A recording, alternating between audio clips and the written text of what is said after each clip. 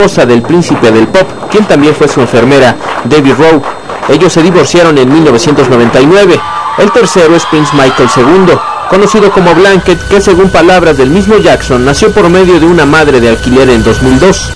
La ex abogada de Rowe, Iris Finn Silver, señala que ella pedirá la custodia, sin embargo dice que no será fácil, porque el abogado de la familia Jackson, Scott M. Banks, argumenta que los tribunales tomarán varios factores en cuenta, pues Rowe no ha visto a los niños en 10 años y renunció a la custodia a favor de Michael Jackson.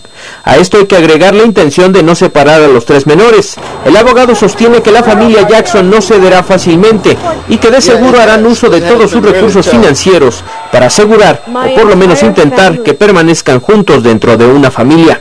Miguel Ángel Ramírez, Noticieros Televisa.